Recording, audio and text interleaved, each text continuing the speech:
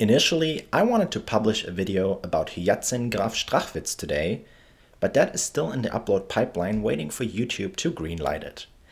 Therefore, I decided to make this short video about the Order of the Black and Red Eagle after it was requested in the comments under my video about the Pour le Mérite. With that being said, welcome to German history with a German accent. My name is still Wolf, W-O-L-F, just like the animal. On January 17th, in the year 1701, just one day before Friedrich III, Kurfürst von Brandenburg, or Elector of Brandenburg, crowned himself as king in Prussia, he established the Order of the Black Eagle, or Schwarzer Adlerorden. This order was a house order, not a merit order like the Pour le Mérite. The motto of the order was Suum cuique, which is Latin meaning to each his own. Also, initially, the amount of order members was limited to 30 knights, excluding the Prussian princes whom were given the order upon birth. Under its initial statutes, the Order of the Black Eagle was exclusively awarded to noble knights.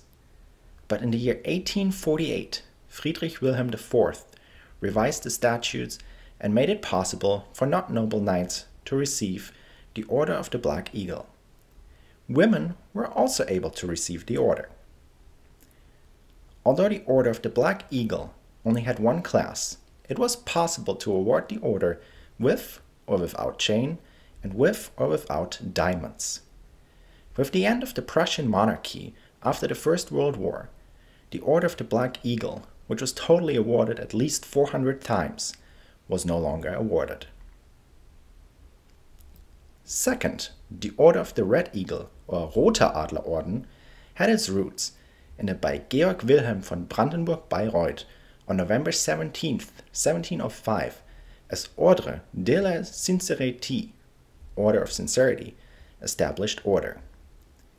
After it was revived in the year 1734, in Brandenburg-Ansbach, it carried the name Order of the Brandenburg Red Eagle. After its statutes were changed in 1777, the order was named into Order of the Red Eagle. At that time, only one class existed and it was limited to 50 knights.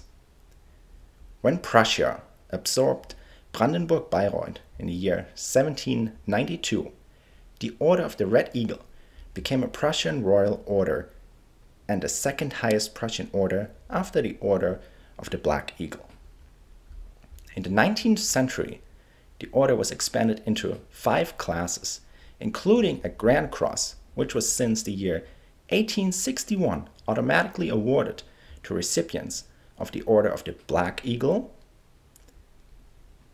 The Order of the Red Eagle was awarded both to military and non-military personnel. It was also the Prussian order with the most available variations that could be awarded. For example, oak leaves, diamonds, swords, or swords on a ring, and even more.